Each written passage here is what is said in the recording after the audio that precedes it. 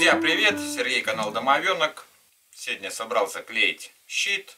А меня часто спрашивают, нужно ли щит при склейке чем-то усиливать. Ну, я сразу хочу сказать, что современные клеи сейчас отлично справляются со склейкой, сплачиванием щита на гладкую фугу.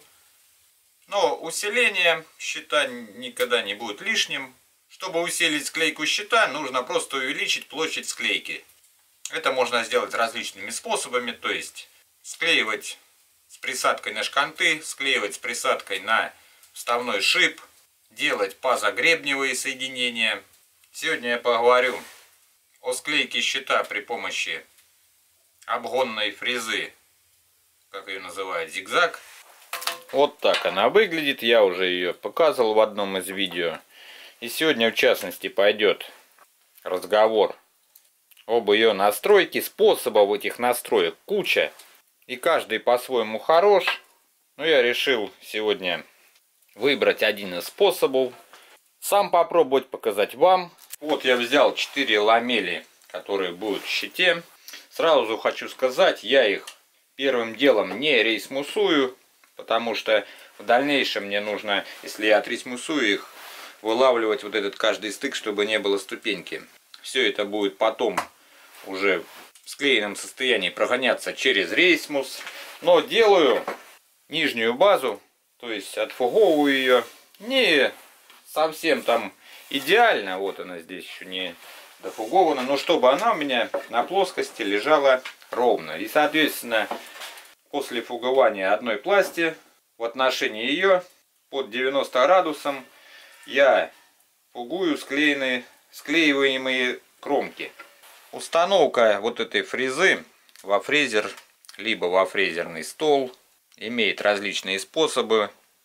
Можно найти вот этот среднюю ось, при которой при перевороте делянки будет образовываться обратный у вас зигзаг. Ну, то есть, чтобы наша задача, чтобы склеить без либо с минимальной ступенькой, по базовым поверхностям, то есть которые находятся у нас сейчас снизу. То есть если мы неправильно выставим фрезу, после фрезеровки у нас будет вот эти вот делянки скакать относительно базы. Из-за этого при ресмусовании мы снимем больше материала, соответственно уже щит будет намного тоньше запланированного. Я сразу после фуговки разложил ламели, как они будут у меня находиться в щите. Можно это делать треугольником, я пронумеровал, да и все. И вот здесь вы видите буквы, и они чередуются. То есть вот эта делянка будет у меня, я обозначил А, можно там любыми способами. Следующее Б, А, Б. Что это значит? А я прогоняю в одном положении, а кромки со стороной Б я буду фрезеровать уже в ответном положении вот этой вот фрезы. Ну, сейчас наглядно все постараюсь показать. Так, таким способом нужно работать во фрезерном столе. Устанавливаем фрезу, поднимаем ее, чтобы подшипник был над заготовкой. Он сейчас нам не нужен. Он здесь немножко для других целей. Как-нибудь я об этом расскажу. Упор сдвигаем, чтобы у нас углубление вот этого зигзага было на уровне нашего упора. Проверяется это легко, тоненькой линейкой. Я сейчас взял другие заготовки, покороче покажу на них, а потом уже для себя сделаю сам щит.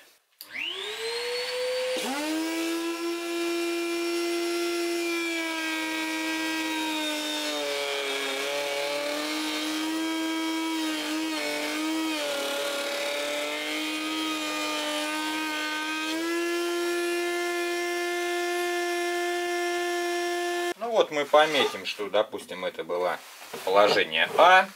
Так, за один сразу, за раз берем наши ламели, где буковка А, проходим в этом положении все подряд.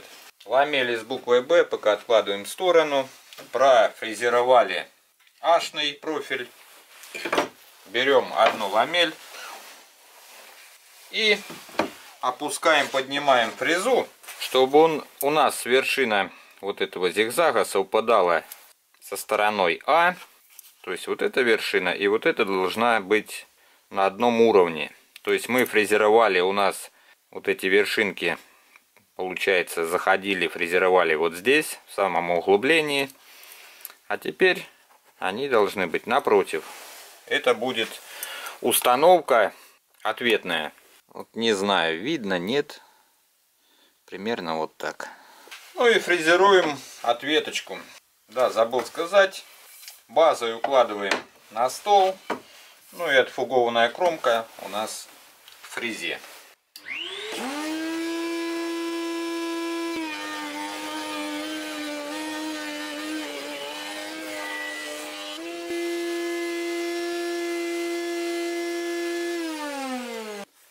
Ну и вот давайте посмотрим, что получилось. Как видим, перепада практически нет. Вот здесь, видать, угла немножко не было. Но это все отрисмусуется уже после склейки. Вот таким образом сейчас прохожу все свои ламели. Вот клей высох, я отторцевал. Склейка идеальная. И на торце практически ее не видно. Друзья, на этом буду заканчивать сегодня видео. До новых встреч, пока.